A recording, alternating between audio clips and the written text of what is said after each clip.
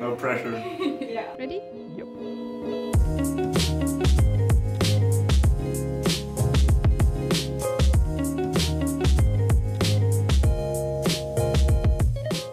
Hi, what's your name? Hi, I'm Daniel. Hi, I'm uh, Sebastian. Hey, I'm Alex. Hi, my name is Sebastian. What do you study?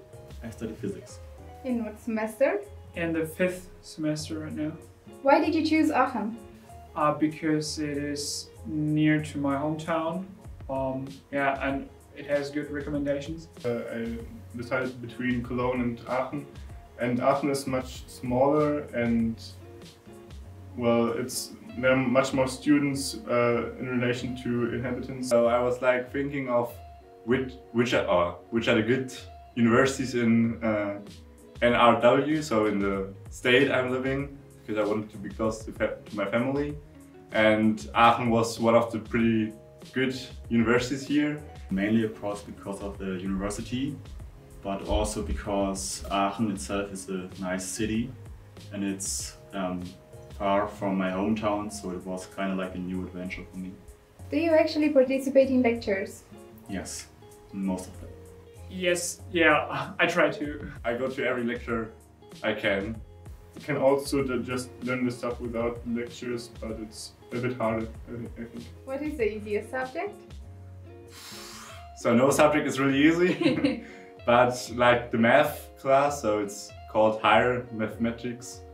Uh, it's like the easiest. So in the first two semesters, you can also choose analysis and linear algebra, but that's like the hardest one then. But if you stay at uh, HöMa and choose another subject, side subject, then it's the easiest one. Experimental physics. I would say experimental physics in general, but uh, there are also times when experimental physics gets harder and in comparison to that, uh, the other subjects like um, mathematics or uh, theoretical physics is hard, uh, is not that hard. Data analysis in the second semester. And what is the hardest subject and why? Definitely theoretical physics. Uh, theoretical physics, because it's just really confusing sometimes. Theoretical physics. Theoretical physics, uh, because it's very mathematical and um, yeah, very abstract. because it's so new concepts you have to understand and it's really hard to get it directly so you're sitting hours on the uh, sheets per week so it's really really hard to understand the concepts and they are so new it's completely different to school physics and everything you knew before Yeah, but it also, also depends. There's also in the first four, four semesters, there's high mathematics and that can also be quite time consuming and uh, difficult. Things are explained in a lot more detail than in other subjects, so sometimes it's kind of hard to get the grasp of what you are actually being taught. What is your favorite thing about your degree? My favorite thing is that you describe the real world uh, with maths. So um, in experimental physics not so much but also uh, pretty precise and in theoretical so it's my favorite subject. You really described it with maths and the structure is just really cool. Go really deep into the stuff and yeah, you explore all the basics, the basics of the basics, and yeah, I think that's really cool because you understand the root of everything. Afterwards, you have many options what you can do with it, so you're not limited. Um, and you don't have to actually know what you will do afterwards. You can study it and then see what's the topics you're most interested in, and afterwards you can decide what you will do. I like to solve problems, I think, and come, come uh, together with uh, describing nature with mathematics, it's quite interesting. How do you study, alone or in a group, and where?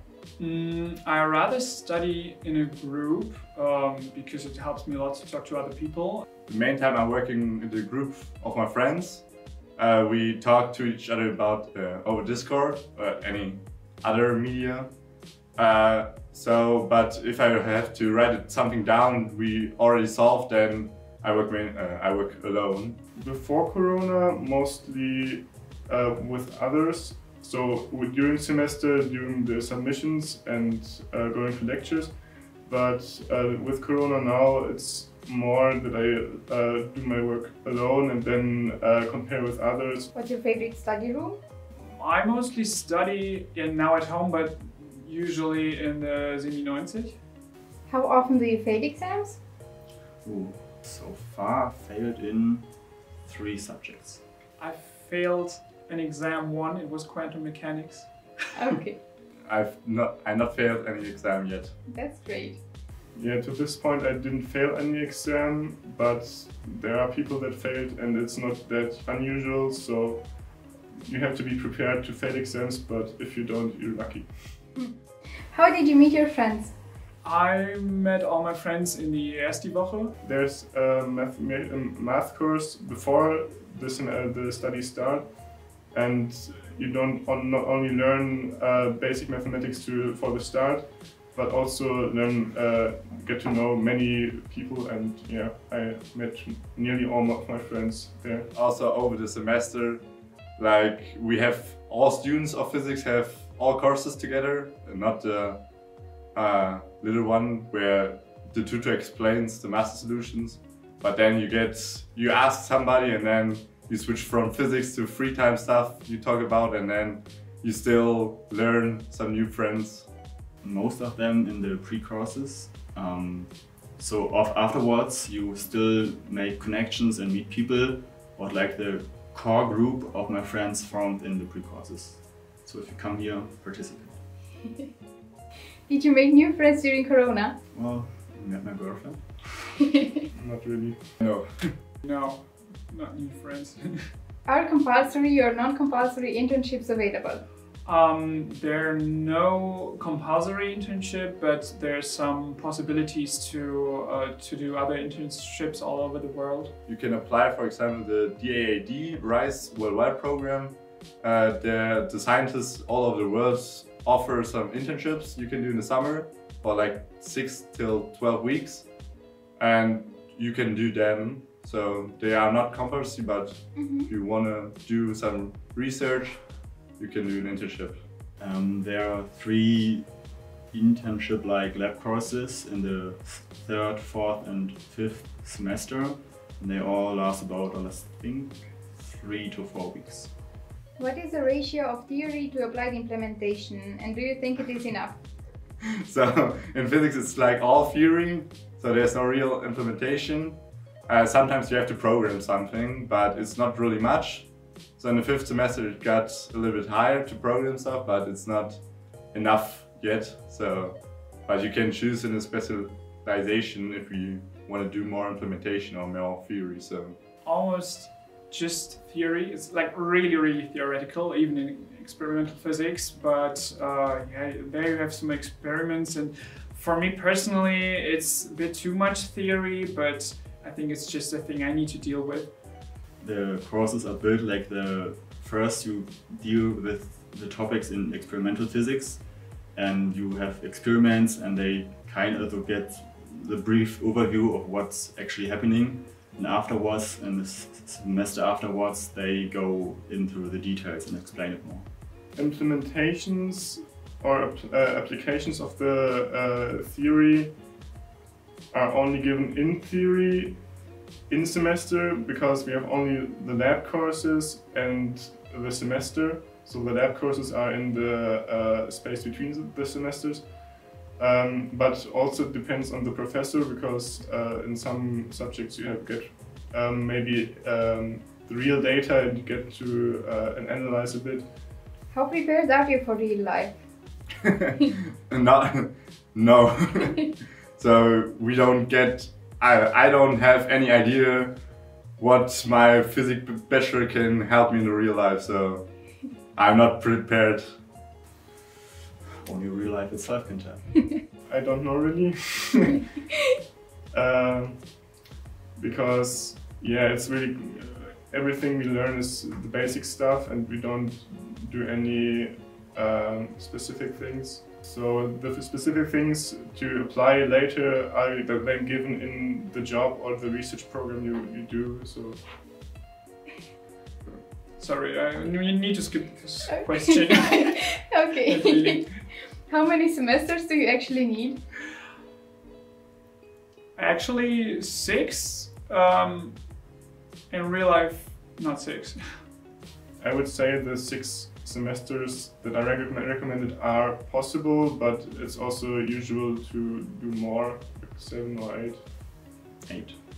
If I would write my bachelor thesis next semester, I would need six semester. But I'm planning to do internships over this DAAD RISE program, and then we'll sh shift the bachelor thesis in the seventh or eighth semester. What other extracurricular activities does your course of study offer? Um, it's not specific my course, um, but the World University has um, a center for uh, extracurricular activities, uh, and you can do there nearly every, anything. My studies don't really offer any activities, but you from the university itself, you have a lot of to do.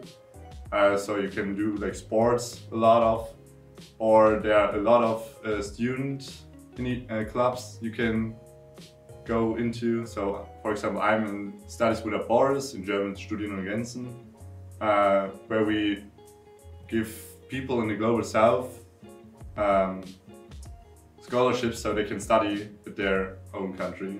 In the first two semesters, you can choose um, between other lessons and I for example chose uh, basics of medicine that was really cool and later on you can choose between um, different other things like climatology which I'm actually hearing. What do you do outside of university? Um, before Corona I participated in several sports that are offered by the university um, but now because I'm limited to my flat mostly I bought myself a dartboard. What was your favorite sports course? um, the sports games. It's basically you go there and you can choose what you play and then you have 90 minutes of fun and then you go home. I'm mostly sports and music and yeah, hanging out with friends. So I like to do sports when I'm not injured. Um, so I tried lacrosse, badminton, table tennis, volleyball. So you can do a lot. I do uh, much swimming in the uh, public swimming pool. What's your favorite bar? Uh, probably the Sowieso. It has really good bites. I think uh, the Sowieso. It's um, yeah, a bar where you can play billiard or darts. Die Kiste, so like the box. It's a small bar in Midtown and it has a nice flair and they mostly play rock and metal music there. My favorite bar is the Philharmonie uh, it's in the famous Pontstraße here because it has Monday it's the Weizenabend, or it's a really delicious kind of beer, and it only costs one euro ninety I think on Mondays, and on Thursdays they have the cocktail evening where the cocktails are really cheap. So okay, if you could go back in time, would you choose Aachen again? Yes. Yes, definitely. I would say yes because it's quite near my home hometown, as I said, and you can. Uh, yeah, I have just one and a half hour uh, by train, and because of it's quite small, I like it also. So, and the university is great, so I would definitely choose it again. I'm not really sure because I really miss the sea or a river or something. That's the big minus point, the negative one. so it's really, really cool here. I met a lot of interesting people and got a lot of new friends. So I would definitely go back to here. Great. That's it. Thank you.